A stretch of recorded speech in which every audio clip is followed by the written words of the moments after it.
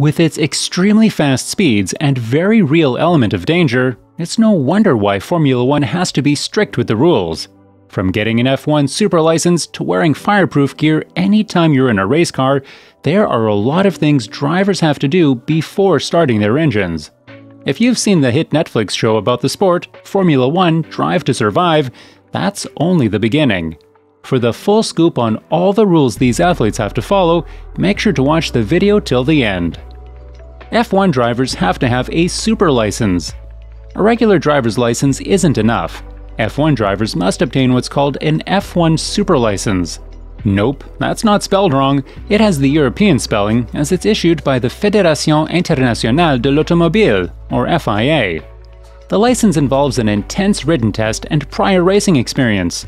Some drivers with dual citizenship race under a different nationality, like Alex Albon, who has a Thai license.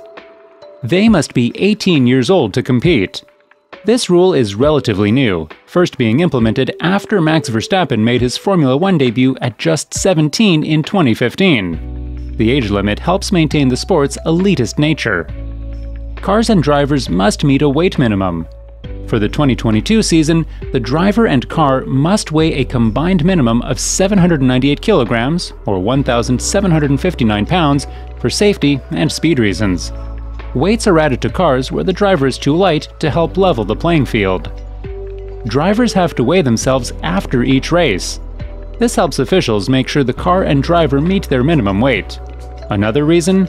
Drivers could drop anywhere from 4 to 8 pounds during a race due to sweating in the high temperatures in the car. It can reach up to 122 degrees Fahrenheit. The weigh-in informs medical staff how much weight a driver lost. If it's more than usual, they can act accordingly drivers can hydrate while racing. Some drivers have a special hydration system built into their cars.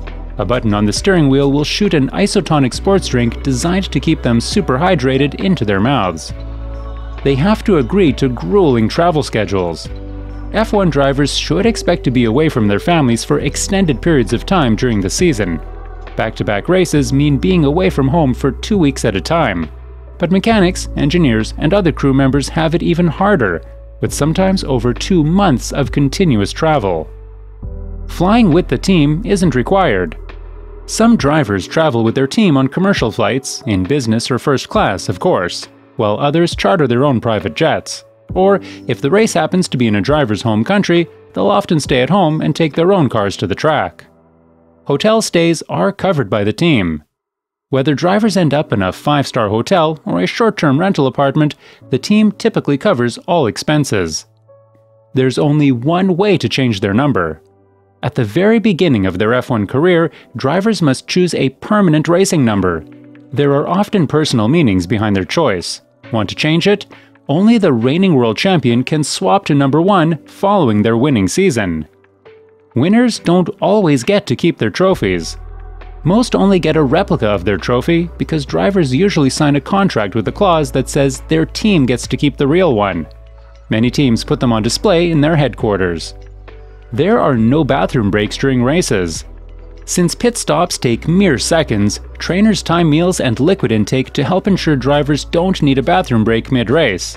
In the case of emergencies, drivers are instructed to pee inside their suits, but this isn't very common. They can't be late to mealtimes. Teams often have a culinary staff that feeds the drivers, as well as the crew and guests. The only important thing for the driver's food is that it is on time, Red Bull's executive chef Sandro Gamsjager told CNN in 2014. Normally they eat one and a half hours before they get in the car. Full gear must be worn when driving. Yes, even during practice. That includes a fireproof suit, helmet, neck protection, racing boots, and balaclava. Oh, and gloves with a biometric sensor on the fingertip so the team can track drivers' vitals in real time, like their heart rate and oxygen levels. Drivers have to talk to the press. When you see a driver immediately go from the track to interviews, it's not necessarily because they want to. Making oneself available to the media is required and is a part of the formal rulebook. A team member records all interviews. This is so no driver can be misquoted. These minders, as they're called, often serve as personal assistants, helping to schedule busy days for the drivers. Drivers used to not be able to engage with fans on social media. In 2017, Formula One's ownership changed hands, and teams and drivers have been posting away ever since. They often share snippets of training sessions and their personal lives. Victory celebrations are allowed. That being said, donuts are really hard on the car. Teams have a limited number of components they're allotted to use per year, so most drivers only do victory tricks after the last race of the season. But dangerous tricks aren't allowed. Only a celebration that is performed safely and does not endanger other drivers or any officials is permitted. When Max Verstappen won the Styrian Grand Prix in 2021, his burnout, aka slowing down and lighting up his rear tires, earned him a stern warning from F1 race director Michael Masi, since cars were still behind him driving at racing speeds. Listening to music while driving isn't recommended. While there's no written rule against it, it comes as no surprise that no driver does this due to safety concerns. This would inflict the driver's ability to hear team communications on the radio, too. Teammates can't talk to each other during the races. Since once drivers hit the track, it becomes an individual sport, they can't speak to one another during a race. The workaround? They can pass messages through the team's race engineer. They have to brake with their left foot. There isn't enough room in the footwell of the car for a right foot brake, so left foot braking is a non negotiable. Fun fact most cars don't even have a footrest on the left side. Drivers have to work for their bonuses. Each driver is paid a base salary by their team, but big bonuses are up for grabs after winning a race, getting a pole position, scoring the fastest lap, and more. It's rumored that some drivers get as much as $25,000 for the fastest lap and an extra $500,000 after winning a Grand Prix. Sponsorship deals are shared with the team. Drivers can negotiate personal endorsements and sponsorships with other companies, but they won't pocket 100% of the total earnings. A percentage is usually shared with their team, and each team's requirement can vary. Drivers can pay their way into a race, Called paid drivers, these athletes finance everything themselves, either through sponsorships or personal or family funding. While the move is often looked down upon, many think it's unfair, some paid drivers have gone on to have successful careers. They're encouraged to drive their team's car. When you represent brands like Mercedes or Ferrari, why wouldn't you drive the luxury cars in your personal life? The brands often gift their athletes free cars, long term loans, or short term loans drivers have to participate in random drug testing. While performance enhancing drugs aren't as common in Formula One as other sports, drivers being under the influence is a big concern. Hitting the road while impaired could lead to crashes, injuries, or even death.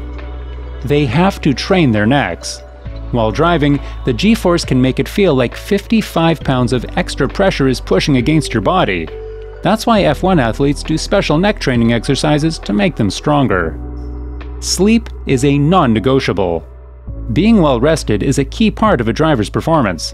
That's why pre race naps, ideally 4 hours before the starting time, helps athletes stay alert. According to a former Renault fitness manager, a minimum of 7 hours of shut eye is absolutely necessary the night before a race. They should prepare to race on rainy days. However, wet weather tires and red lights on each car can only help so much. Sometimes visibility gets so bad the event is delayed or cancelled. The 2021 Belgian Grand Prix declared its winner after two laps and awarded half points, which upset some fans and drivers alike. They shouldn't look at the crowd. It's hard to miss thousands of screaming fans, but staying focused on the road is crucial. That said, some drivers have said they can hear the roar of the crowd over their engines. Women and men can compete together. Despite being allowed, it's rare to see women in F1. German driver Sophia Florsch explained that because of the bias in the sport, it's harder for female drivers to land sponsorships big enough to be in Formula One. I'd race for the championship if they let me. Women must receive the same support as men. If there are sponsors, companies, teams that believe in women, then we can make history, she told DW. Drivers can be canned at any time.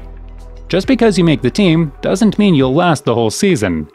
Drivers are constantly striving to perform to the best of their abilities because mid-season transfers are fair game. That's it for today. Make sure to subscribe to our channel and leave this video a like if you liked the content. What is your view on all these rules the F1 drivers need to follow? Make sure to let us know in the comments section down below.